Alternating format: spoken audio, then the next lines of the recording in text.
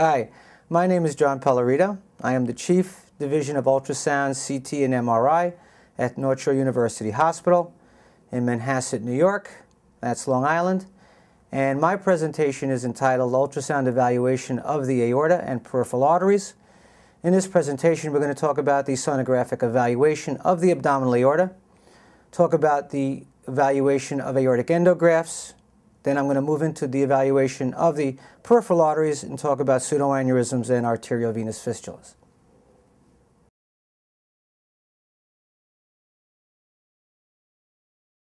In this presentation, we're going to discuss the evaluation for abdominal aortic aneurysm, complications of endograft repair. We're going to review the diagnostic criteria for arterial stenosis and discuss the diagnosis and therapy of pseudoaneurysm and arteriovenous fistula. We make the diagnosis of abdominal aortic aneurysm when the aortic diameter is greater than 3 centimeters. When the size of the aneurysm is greater than 6 centimeters, then we become concerned because they have a 50% one-year survival rate with a 43% risk of rupture. In general, we say the aneurysm will increase in size about 0.2 to 0.4, 0.4 centimeters per year. Indications for the evaluation of the abdominal aorta include patients with palpable pulsatile abdominal mass, unexplained lower back pain or abdominal pain, and patients with known extremity aneurysmal disease. For our sonographic evaluation, we're going to evaluate the extent of the aneurysm in both longitudinal and transverse planes. We're going to determine the amount of intraluminal thrombus, we're going to assess the residual lumen, look for evidence of periaortic hematoma, and also assess for involvement of the renal and iliac arteries. Usually for this study, we like to have patients perform a 12-hour fast prior to the examination, and this reduces the amount of scatter and attenuation from bowel gas. We don't give any pre-medication normally, and we typically will scan the patient in the supine position. The normal abdominal aorta typically demonstrates smooth margins and tapers distally to the iliac bifurcation. The normal diameter, usually about 2 centimeters or less, and it's important to recognize that the abdominal aorta supplies both low and high resistance arterial beds. Here are two samples taken from the abdominal aorta at the proximal and distal levels. The sample obtained from the proximal abdominal aorta demonstrates its forward flow component in systole and then is continuous forward diastolic flow. And this is related to the fact that the proximal abdominal aorta supplies blood to the liver, spleen, and kidneys, which demand continuous forward flow both in systole and diastole. The distal abdominal aorta distributes blood flow to the lower extremities, which typically have higher resistance to, to blood flow in the distal vessels. So samples taken from the distal abdominal aorta typically demonstrate high resistance. And the sample here taken just above the iliac bifurcation shows early diastolic reversal consistent with blood flow in the peripheral arteries, as we'll discuss in a little bit. The protocol as taken from the ACR practice guideline includes the acquisition of transverse images, typically in the proximal abdominal aorta near the diaphragm, We'll take an image in the mid-abdominal aorta near the origin of the renal arteries and the distal aorta above the iliac bifurcation. We also want to get a transverse view at the iliac bifurcation as well. We will also be obtaining longitudinal images and taking AP measurements of the abdominal aorta. These measurements should be obtained from outer wall to outer wall, perpendicular to the long axis of the abdominal aorta. For focal aneurysms, we typically will measure the maximum AP diameter to determine the size of the aneurysm. And of course, we're going to determine the relationship to the renal arteries. It is also recommended that we obtain a transverse image of the proximal common iliac arteries, longitudinal images with AP measurements of the proximal common iliac arteries right after the bifurcation. And I think it's also valuable to obtain some color and spectral Doppler information as well depending on the question at hand. We typically will say that the patient has an abdominal aortic aneurysm when the size of the abdominal aorta is at least greater than equal to 3 centimeters. Of course, this relates to the size of the patient. Patients with smaller body habitus may demonstrate a focal aneurysm at less than 3 centimeters, but in general, 3 centimeters is the cutoff that we use. We say the study is negative for aneurysm when no aneurysm or focal dilatation is identified, and the common iliac artery is also normal in caliber. The study is indeterminate when we have limited or non-visualization of the abdominal aorta and common iliac arteries. Here are a couple of transverse images from an abdominal aortic aneurysm. The grayscale image shows just a small amount of thrombus along the periphery of the aneurysm wall. When we turn the color on, we can appreciate that there's a large amount of intraluminal anechoic thrombus and that the residual lumen is smaller than we suspected from the grayscale image. Here are two sagittal images. The grayscale image shows moderate amount of intraluminal thrombus and the residual lumen. Color Doppler is very helpful to demonstrate flow in the residual lumen. And it also helps us to direct the pulse sample volume when we obtain velocity samples. You can see here we're taking the maximum AP dim dimension to estimate the size of the aortic aneurysm. Here's an example of an aortic dissection. The grayscale image is helpful, but it allows us to see the luminal flap or intimal flap very nicely. In fact, sometimes it's easier to see that flap with grayscale because color can sometimes overwrite the flap and it may be more difficult to visualize. With color Doppler here, we can see that there's flow in both the true and the false lumen. Screening is an important part of the assessment for abdominal aortic aneurysm. Recommendations for screening include men 65 years or older, women 65 years or older with cardiovascular risk factors. We also consider screening for patients with a family history of aortic and peripheral vascular aneurysmal disease. And screening populations can include a history of smoking, hypertension, and first degree relatives with the disease. Let's move on and talk about the evaluation of patients that have endovascular stent graft repair for abdominal aortic aneurysm. This is a recent alternative to surgical repair of abdominal aortic aneurysms. In these patients, a graft will be placed transluminally through a small incision in the femoral artery, and then the catheter will be placed through the artery and across the abdominal aortic aneurysm, and then the graft can be deployed in position and expanded to exclude the aneurysm cavity. Some stent grafts are totally supported with stent structure, while others are supported only at the attachment sites. If we look here, we can see a couple of examples of stent grafts. The one on the top uh, demonstrates a bifurcated appearance. The one on the bottom has a single body. Many of these grafts can be modular and consist of several components. There are several complications to consider in the follow-up evaluation of endografts. There can be bleeding following the procedure. We look for evidence of endoleak, either at the anastomotic sites or from within the graft itself. There may be evidence of aortic dissection. Other complications can include infection, distal ischemia. There may be migration of the stent graft, or fracture or deformation of the graft, as well as graft thrombosis. And ultrasound is very helpful in the follow-up of stent grafts looking for some of these complications. CT is considered the primary modality for the evaluation of endografts, but ultrasound can be very valuable for screening and surveillance of stent grafts. It is somewhat patient dependent in that very large patients, and very gassy patients may not be particularly sonogenic and difficult to evaluate but accuracy has shown to be related to experience, and ultrasound has proven valuable in defining complications of endografts. One of the keys to the follow-up evaluation of patients treated with endografts is to measure the maximal aneurysm sac diameter. After successful endograft repair, the abdominal aorta should be stable in size or actually get a little bit smaller. The aneurysm should not increase in size if it has been excluded successfully by the endograft.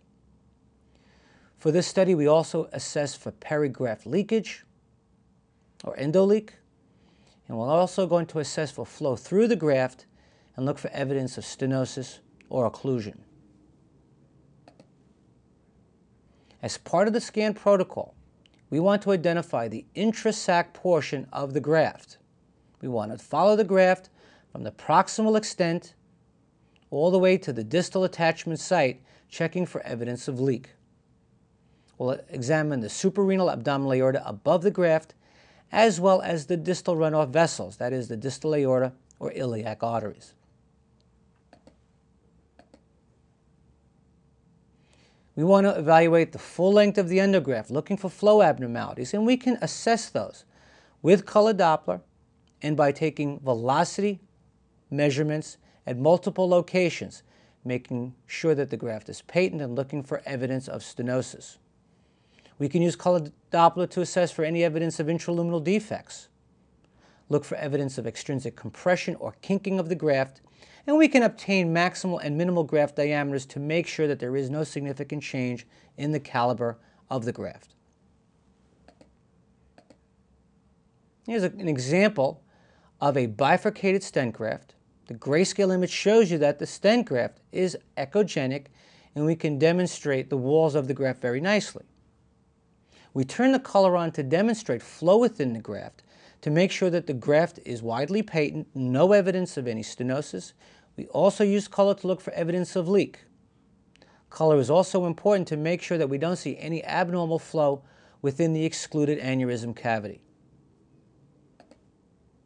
Here's a transverse view through the same bifurcated graft.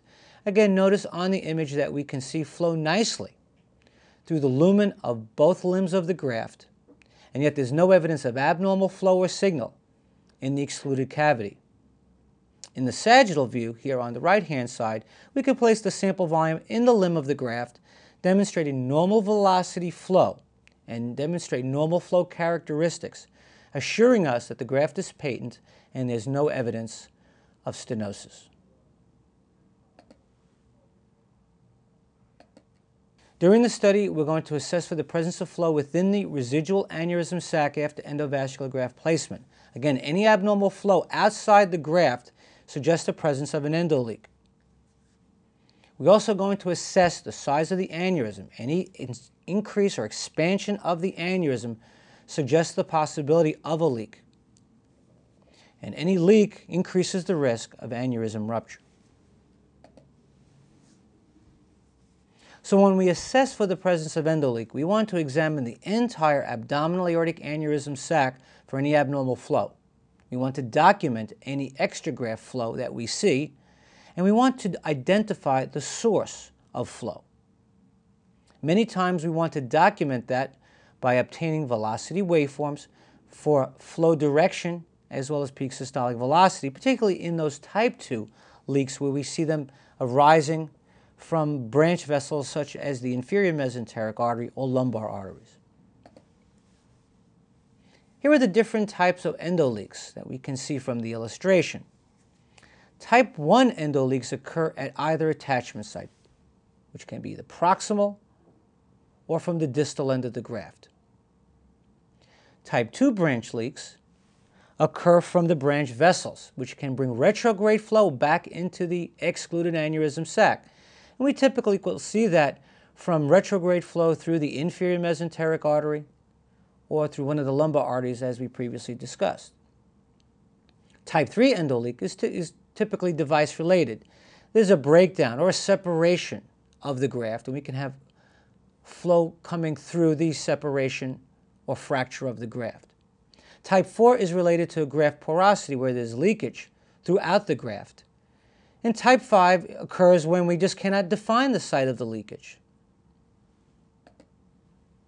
Let me show you a couple of examples. These samples were provided to me by George Berdejo at uh, Montefiore Medical Center.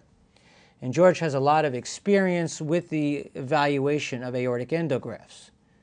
Here's a nice example of a distal type 1 endoleak, which we can see with CT correlation. On the CT scan on the left, we can see that there's contrast material within the graft, as well as leakage of contrast material into the lumen of the aneurysm sac. And this compares very nicely with the color Doppler image, which show that there's active leakage of blood from the distal anastomotic site into the aneurysm sac. Here's an example of a type 2 endoleak. Here the leakage is from the inferior mesenteric artery, which is bringing blood flow back into the aneurysm sac via collaterals. And we can see here that blood is filling the sac, and we can identify the graft more posteriorly, and we can see that the graft is patent. Let's move on to a discussion of the ultrasound diagnosis of the peripheral arteries. Now, obviously, a non-invasive diagnosis is a desirable alternative to arteriography. It should not only detect the presence of disease, but be able to distinguish severe from non-surgical lesions, those that require therapy from those that do not.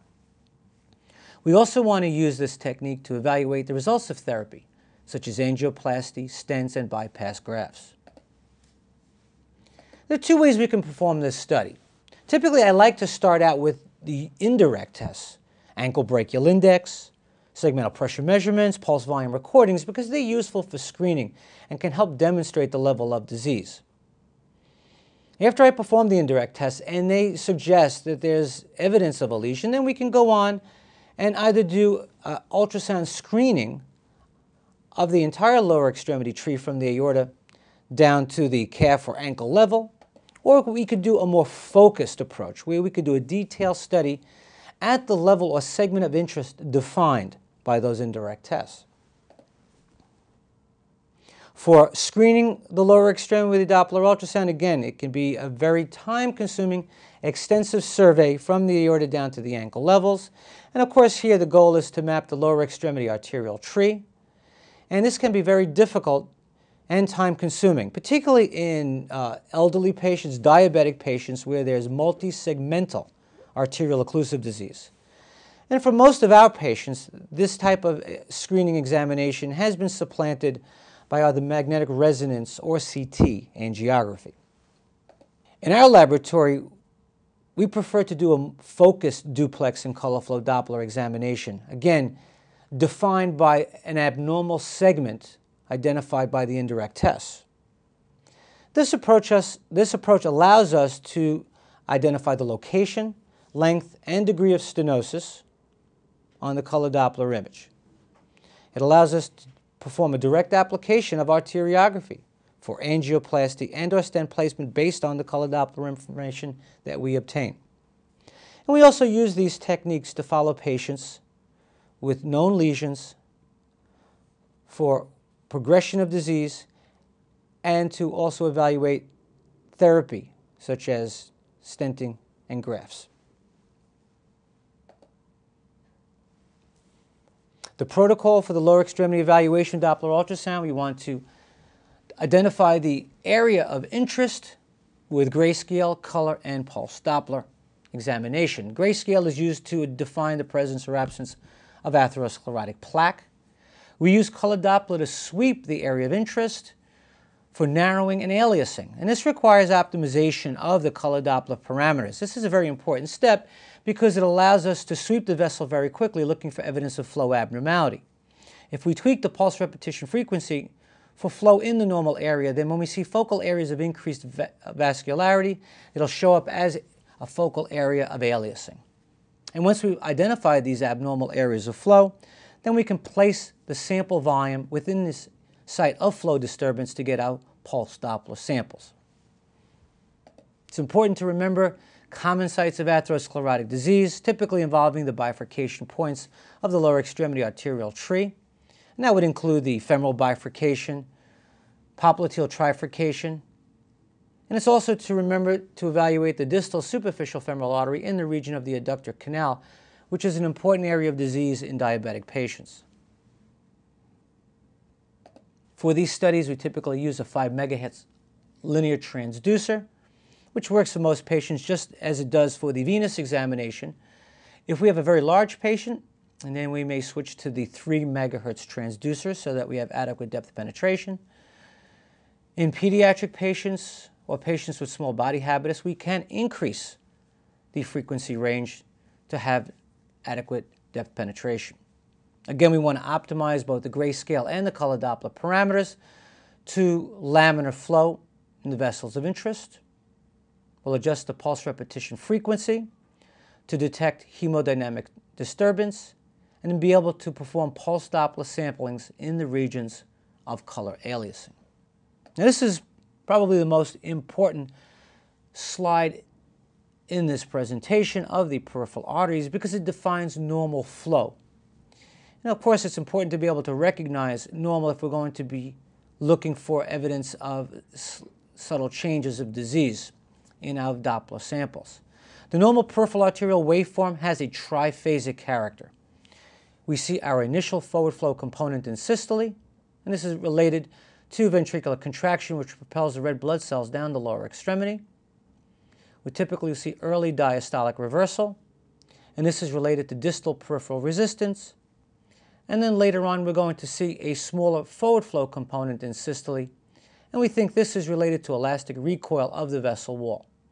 So initially in systole, the vessel wall is expanded, and then it snaps back into place, further propelling the red blood cells down the lower extremity. It's also important to note that the normal peripheral arterial waveform should have a narrow systolic window, and that's the area under the curve here. And this indicates to us that at the point of the sample volume, all the red blood cells are moving at approximately the same velocity at any given point in time. And of course, we're going to notice the normal velocity range. And here in this sample taken from the deep femoral artery, we see the peak systolic velocity is about 80 centimeters per second. Obviously, it's important to recognize normal peak systolic velocity ranges for the vessels. And you can see here that as with most arteries in the body, the peak systolic velocity ranges from between 40 to 100 centimeters per second. In the femoral arteries, the range is about 80 to 100 centimeters per second, and velocities will decrease as we proceed down the lower extremity. In the popliteal arteries, the velocity is 60 to 80 centimeters per second. And when we get to the tibial arteries, the velocities are in the 40 to 60 centimeter per second range. When we evaluate samples obtained from the lower extremities, there are three things that we're going to evaluate. We're going to look at the waveform shape. Is it triphasic or not? We're going to look at the peak systolic velocity, and we're going to look at the spectral window. These three characteristics are used to classify the degree of disease in our examination.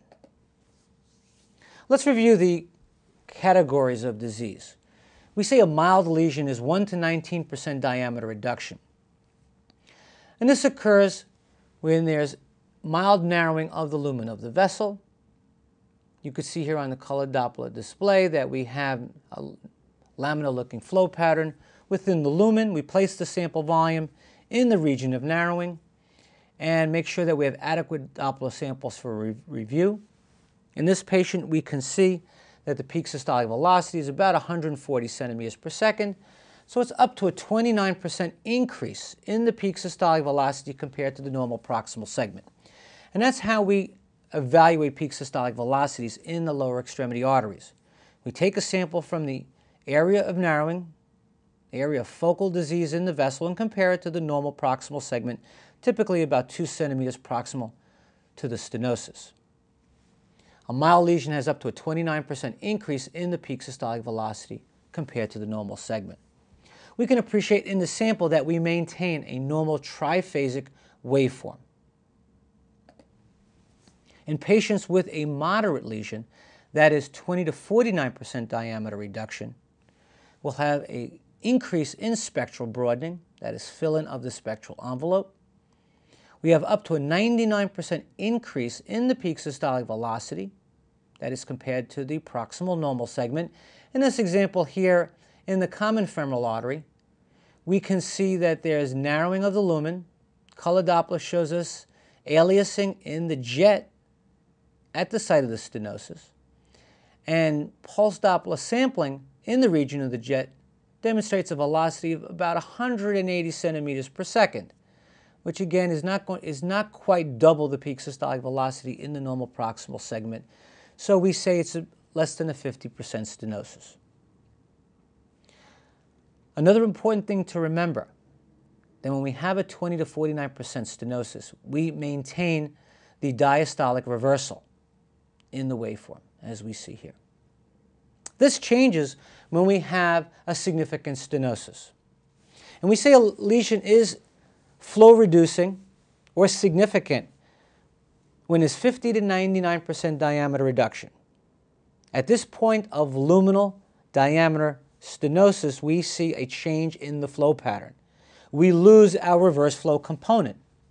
So we see flow only in one direction through the stenosis. In this example, we have a high-grade lesion in the right external iliac artery. We place the sample volume in the stenosis identified with color Doppler, and we can see we're aliasing at over 300 centimeters per second. Notice that the spectral window or envelope is completely filled in, marked spectral broadening. We have greater than 100% increase in the peak systolic velocity compared to the normal proximal segment. We say the waveform has a monophasic appearance, that is, flow only in one direction. And this occurs because at the site of a flow reducing lesion, the red blood cells get sucked through the lesion, through the stenosis, because of the pressure reduction on the poststenotic side. And as we continue to drag the sample volume through the stenosis, we'll see that there's a marked change in the waveform character due to poststenotic turbulence. With an occlusion, we'll see a loss of flow, absence of flow in the occluded uh, segment as you'd imagine. We'll see flow in the proximal segment, which may have very damped waveform characteristics, and this is related to the chronicity of the lesion. In an acute occlusion, we'll see very high resistance, low velocity waveforms in the proximal segment, and we'll see very low resistance, low velocity waveforms in the reconstituted segment. In patients with well-developed collateral flow, we may maintain a low resistance pattern in the proximal segment above the occlusion. Here's an example of a sample taken from collateral flow in a patient with severe arterial occlusive disease. And I want you to appreciate the low resistance flow pattern that we see in these collateral vessels. And these vessels are supplying ischemic vascular beds. And these vessels typically uh, provide blood flow to vasodilated arteries and these vessels have very low resistance to flow. So we see continuous forward diastolic flow. The other thing to notice on the sample is the rounded contour. There's a delayed peak to systole, which we usually describe as a tardus parvus flow pattern. We can see it has a really rounded waveform appearance, sort of a TP or, or mountaintop configuration. when we see these rounded waveforms, we typically think of proximal arterial occlusive disease. I'd just like to show you this paper that was published some years ago from Ranke and his group, which illustrates the value of ratios for defining peripheral arterial disease. In this study, they showed that there's marked variability in peak systolic velocity measurement from the lower extremities, and for that reason, peak velocity ratios work better for defining levels of disease. In this study, they also showed that they can determine at least a 50% stenosis when the peak velocity ratio from the stenosis to the normal proximal segment is at least 2.4. They define a level of disease of greater than 80% stenosis when the ratio is greater than 4 to 1. And they classified a 90% stenosis when the ratio is at least 7 to 1 from the stenosis to the normal proximal segment. There are a number of important color flow findings associated with significant peripheral arterial disease. As I mentioned before, we look for an area of focal color change or aliasing at the site of the stenosis. We may see persistence of color with a high-grade lesion. And this is related to a change from a pulsatile flow pattern to a monophasic flow pattern, which I'll show you in a sec. And we can also look for evidence of color Bruit artifacts, which are related to perivascular tissue vibration. We also see evidence of a color mosaic pattern due to swirling of blood flow in the poststenotic segment. Here's an example of normal triphasic flow. In this example here, we could see that there's alternating red and blue, that is forward and reverse flow, in the femoral artery. Again, as we sweep the vessel, we can see there's a normal flow pattern. And of course, we can recognize normal phasic flow in the underlying femoral vein. Here's an example of disturbed flow or persistent color in a high-grade lesion in the superficial femoral artery. Notice how the color persists within the lesion, and this serves as a beacon or indicator of significant stenosis on our color Doppler exam. With pulse Doppler, there are several findings we should be looking for to classify peripheral arterial disease. Again, we look for elevated peak systolic velocities within the stenosis. There's loss of diastolic reversal in the waveforms obtained within the stenosis. Many times we see evidence of a bruit on the pulse Doppler sample. And again, as I mentioned earlier, as we drag the sample volume into the poststenotic area, we may demonstrate tardus parvus waveforms distal to the high-grade lesion. Here's an example of a significant stenosis in the superficial femoral artery. We place the sample volume within the stenosis and we see the peak systolic velocity is about 250 centimeters per second. Now this is a monophasic waveform, that is, blood flow is going in the forward flow direction and systole and diastole. You notice here that we see some information below the baseline here, and in fact you should appreciate that it actually occurs on both sides of the baseline.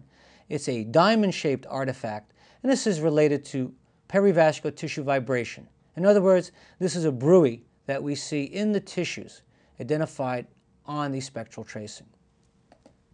As we continue to move the sample volume into the poststenotic region, we see there's a marked loss in velocity and a breakdown in the waveform shape so that we have a disorganized flow pattern, low velocity, bidirectional, with a rounded configuration here again, we're seeing tardus parvus waveforms in the poststenotic area, indicating the severity of disease. Here's another example, this one taken from the popliteal artery. A high-grade lesion seen in this location. The peak systolic velocity is about 200 centimeters per second. Again, notice all the characteristics that we look for. High velocity, spectral broadening, continuous forward diastolic flow, loss of diastolic reversal. These are all the key findings that we look for to classify a severe stenosis. And as we continue to move the sample volume into the poststenotic area, again, we see a very disorganized flow pattern. We lose velocity. We have bidirectional flow and a rounded waveform, the tardus parvus waveform, again indicating that this is a poststenotic waveform and that there's significant proximal disease. Let's take a look at this example. Here's two waveforms taken from both common femoral arteries. It should be pretty clear to you that the waveform from the right common femoral artery is normal in appearance. It has a triphasic character, peak systolic velocity within the normal range. We identify diastolic reversal. Whereas the waveform taken from the left common femoral artery is low velocity, has continuous forward diastolic flow, and has a rounded configuration, a tardus parvus appearance. So this indicates to us that there should be a proximal lesion. And because we can garner this information from this waveform shape, we will look up proximally into the external iliac artery and identify a tight stenosis at the level of the external iliac artery. The color Doppler image demonstrates aliasing at the site of the stenosis, and when we place the sample volume at that level, the peak systolic velocity is over 450 centimeters per second, consistent with a very severe stenosis. Finally, let's just spend a couple of minutes talking about femoral artery injuries. Femoral artery injuries occur about 0.2 to 2% following diagnostic and therapeutic procedures. The incidence of these injuries is increasing due to the use of larger catheters, more complex procedures, and the concomitant use of anticoagulation. Early diagnosis is necessary to avoid potential complications that can occur. And these complications include large femoral hematomas, pseudoaneurysm, arteriovenous fistula, arterial dissection, and arterial occlusion. Let's first discuss pseudoaneurysm. Now, pseudoaneurysms are vascular masses that are separate from the underlying artery and are connected to the artery by a communicating tract or neck. These result from a hole in the arterial wall and blood flow escapes through the hole into the surrounding tissues and the blood flow is confined by surrounding soft tissues and hematoma. These are usually related to an arterial puncture from a diagnostic or therapeutic procedure, but may also be seen, be seen related to other forms of trauma or infection. The most common predisposing factor to the formation of pseudoaneurysm is insufficient manual compression, that is, less than five minutes of compression following the procedure. We also see pseudoaneurysms occur with other types of procedures, such as simultaneous cannulation of the femoral artery and vein, the use of intra-aortic balloon pumps, continuous arteriovenous hemofiltration, and after angioplasty with or without stent placement. Here's a clip of a pseudoaneurysm, and on this real-time image you can see that blood flow is escaping from the underlying artery and is swirling in this mass that it connects to the artery by this tract. So we see swirling color flow within the cavity, and if we freeze it here, we'll get that typical yin-yang appearance. We can identify the communicating tract or neck between the artery and the pseudoaneurysm cavity. If we place the sample volume within the neck, we'll see a typical to and fro flow pattern. And we can characterize that flow pattern as we see high velocity jet entering the neck during systole and a reversal of flow back into the artery during diastole due to a change in pressure. And we can characterize that flow pattern very nicely by placing the sample volume within the neck of the pseudoaneurysm. And here we can see blood flow going into the pseudoaneurysm and systole, and then there's reversal of flow back into the artery throughout diastole. To and fro flow. There are a number of different treatments that can be performed for pseudoaneurysm. If the pseudoaneurysm is small, typically less than one centimeter, we can just watch the pseudoaneurysm. We can be conservative and see if it spontaneously thromboses. When pseudoaneurysms are very large or complex, they may go on to surgical repair. Years ago, we used to perform ultrasound-guided compression repairs because it was a non-invasive treatment. But today, we prefer thrombin injection for the repair of those pseudoaneurysms that were amenable to ultrasound-guided compression repair. There are also other types of interventional techniques, such as balloon occlusion, which can be performed on unusual types of pseudoaneurysms such as axillary or brachial pseudoaneurysms. Thrombin repair is a non-operative alternative to compression repair. With these procedures, a needle is placed into the pseudoaneurysm cavity under direct ultrasound guidance. Thrombin is then injected directly into the cavity while we watch with ultrasound. And in most cases, we see immediate thrombosis of the pseudoaneurysm. And this has proven to be a fast and effective treatment. Right this technique was originally described by Kang and his group in the Journal of Vascular Surgery. In his initial series, he described thrombin injection in 20 of 21 consecutive pseudoaneurysms. Typically, he would inject 0.5 to 1 milliliter of thrombin into the pseudoaneurysm cavity directly under ultrasound guidance. In 15 of the 20 cases, there was immediate thrombosis of the pseudoaneurysm occurring in less than 20 seconds. Five required a second injection, and in his series, there were no complications or recurrences. Here's an, an example from our series that we published a few years ago. And here we can appreciate, here's the femoral artery. Here's the region of the pseudoaneurysm neck and then we could see flow in the pseudoaneurysm cavity. This patient was prepared for thrombin repair. Typically, we assess the pseudoaneurysm, we, um, we get informed consent from the patient, and then we will place the needle into the pseudoaneurysm cavity. Typically, we turn the color Doppler off as we place the needle so that we can appreciate the location of the needle tip. We want to make sure it's in the center of the lumen of the cavity away from the pseudoaneurysm neck. The goal is to just inject the, the pseudoaneurysm with thrombin and avoid injection of the neck or the underlying artery, which can produce distal thrombosis or embolization. Here in real time, we can appreciate the injection, the swirling color. You'll see that there'll be immediate thrombosis of the cavity after the injection. Here's another example here. You can see that there's immediate thrombosis. Finally, just let me discuss the diagnosis of arterial venous fistula. Here we see an example of a fistula between the common femoral artery and vein. We place the sample volume at the site of the fistula and we typically see high velocity, low resistance flow within the fistula. And here's the arteriogram which shows contrast material within the artery and the early draining vein. One more example of arteriovenous fistula. Again, I want you to appreciate that with the sample volume on the arterial side of the fistula, we have high velocity, low resistance flow, a change in the typical high resistance flow pattern because now the blood flow is feeding a low resistance circuit. So we go from a high resistance to a low resistance pattern.